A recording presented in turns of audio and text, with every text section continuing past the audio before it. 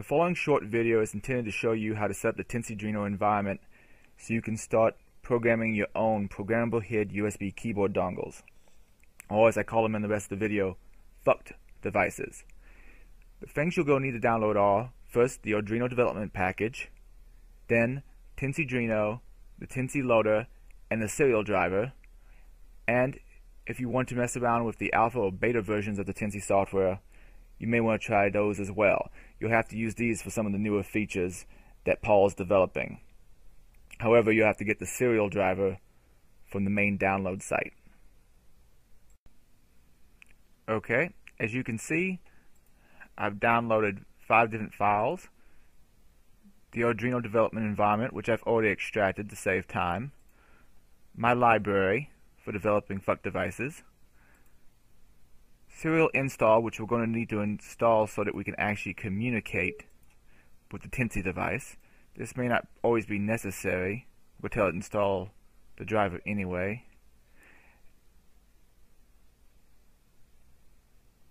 Hopefully eventually we'll have everything set up to where we'll actually be able to use our Teensy and program it. When in doubt, go into uh, my computer, device manager, and check to see whether or not it says it's currently enabled, installed, and ready to go. Looks like it's done. And we'll say reinstall using recommended settings. Not sure why it screwed up. Alright, let's update the driver on this. We'll go ahead and search automatically. And this time around, it looks like it actually found it. Once that's done, a few extra odds and ends we have to do. We've already unzipped the Arduino environment, but we're going to have to add a few things from Paul at the Teensy Development Center. Go ahead and copy over the Teensy loader, and we'll go ahead and install the Teensyduino package. It's essentially just going to ask us where our Teensy install is and we'll point it to the desktop and Arduino 0018 in this particular case. Okay, it's now installing. And that's all we have to do for core Teensy development. However, there's probably a few extra things we're going to do. Oh, by the way, I'm using the alpha version so that we have all the newest features. You may want to go with the stable version depending on uh, what you plan on developing. Now I'm going to go into library and I'm going to add the library I developed for making designing PHUKD devices a little bit easier. There we go. That's extracted in there. Now all we should have to do is load up our environment. But first, let's go ahead and load up the Teensy loader.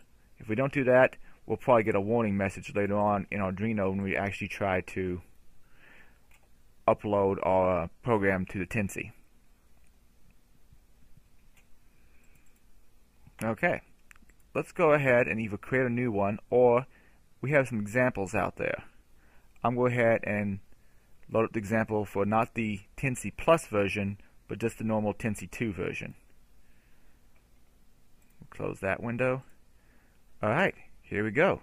Now we may start to make a few settings a few that you might be interested in is, uh, well, for example, if you uh, need to go in and set serial port, currently we have these three COM ports.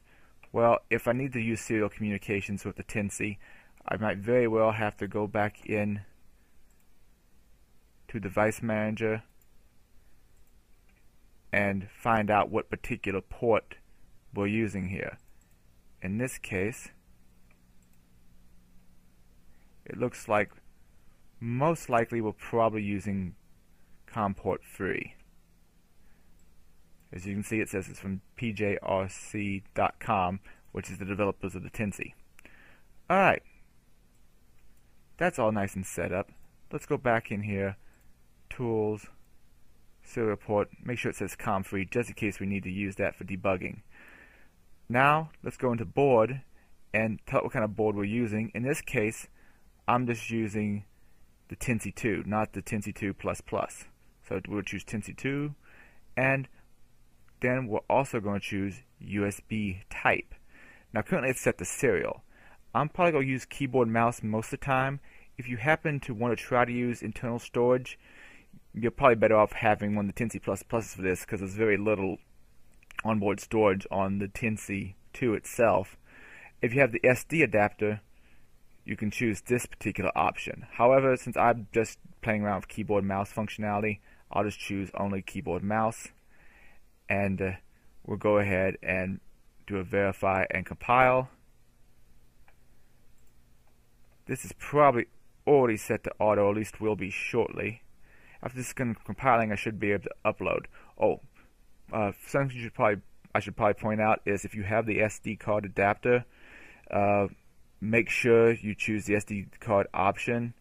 Uh, but if you don't have the SD card option, make sure you choose just keyboard and mouse. I've had problems before in the past where I told it to compile for using the SD card option, but I had dip switches hooked to there, and it will cause your um, Teensy to freak out. Not anything destructive by any means, but essentially it won't function properly. So make sure you choose the right USB type for whatever your project is. Alright, now that it's all compiled, I can click the program button that's on the Teensy itself, which obviously you can't see, but this is what the picture would look like.